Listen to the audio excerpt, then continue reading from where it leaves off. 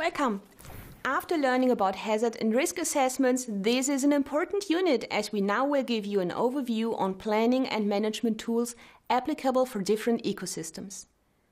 Our guiding questions are How can spatial planning serve to reduce risks from disasters?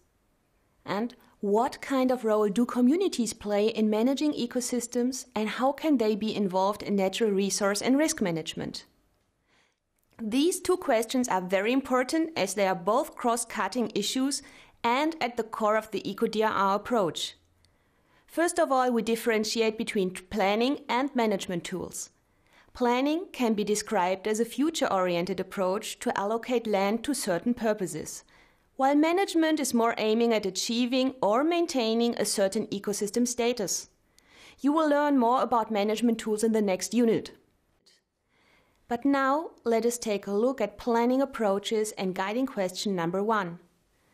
Obviously, a plan can be made on different scales, ranging from local to regional, covering small sized areas to large regions. They all have one thing in common they prescribe, regulate, and determine land utilization for various purposes, such as agriculture, industrial sites, traffic and transport, human settlements, or protected areas. This is increasingly difficult due to the growing population and their demands around the globe, and results in land use conflicts and urbanization, transforms land use and social structures, and may increase environmental risks, including those related to natural hazards. A spatial plan is made on a large scale and serves as a basis upon which more detailed plans for urban or rural areas are formulated or upon which sector plans for agriculture or infrastructure development are done. Basically, spatial planners define which activity will take place in which location, for example, where a new settlement or industrial site should be located. Take this example from Austria, where planners have to allocate settlements, industrial sites, but also agricultural areas in a narrow valley with limited space while taking into consideration risks from flooding and avalanches. Spatial plans therefore play a significant and influential role in preventing or mitigating losses from hazards and managing environmental risks as they determine the physical location of activities and investments. Do you remember the Netherlands Room for the River case study?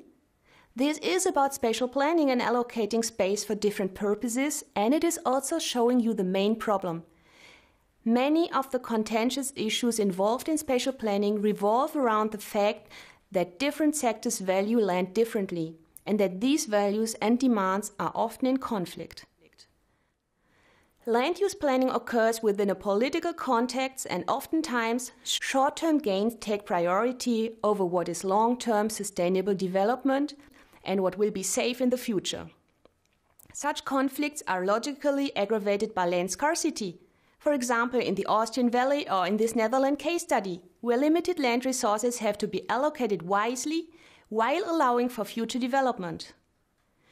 Here, the exposed areas along the rivers are no longer considered as constructible zones in order to reduce the flood risk. So, as a spatial planner, you would propose not to build up this area, right? That sounds like the perfect solution, and you are right. This is definitely the right path towards a risk-sensitive spatial planning. But keep in mind that spatial planning is always a compromise, because if you don't designate the river banks and retention areas for human use, you will have to allocate other land resources for development. And what do you do with the landowners and the people living in the area? Well, now we have jumped right into the second question of this unit, the community involvement. In most planning procedures, participatory processes are meanwhile obligatory, ranging from simple information sharing to complex collaborative decision-making schemes, with community empowerment as the highest level of participation. Communities play a crucial role in sustainable land management and disaster risk reduction. They often have expert knowledge about their environments and are the most dependent on clean water and locally available resources for sustenance. So, including their knowledge in planning is beneficial, while at the same time awareness of the plans, policies, and their rights can enhance their resilience.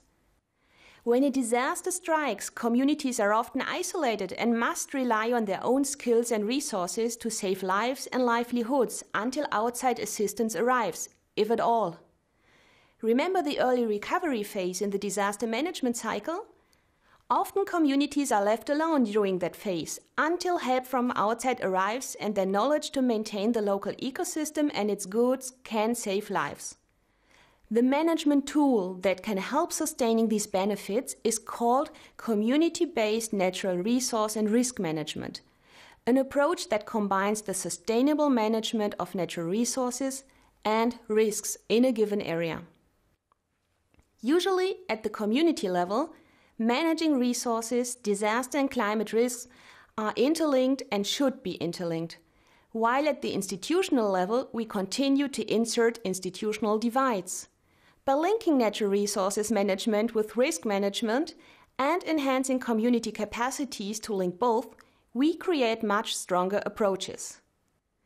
But communities are manifold. The term only refers to a group of people sharing a common interest in a certain area.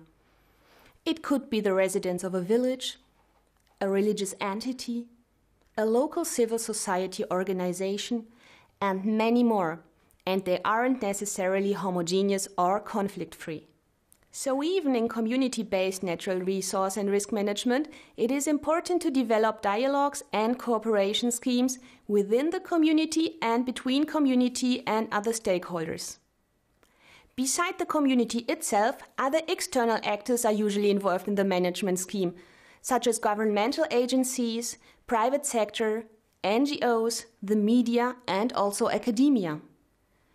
To achieve sustainable natural resource and risk management, various community risk assessment tools are available, ranging from participatory mapping of risks and resources to a social or institutional network analysis.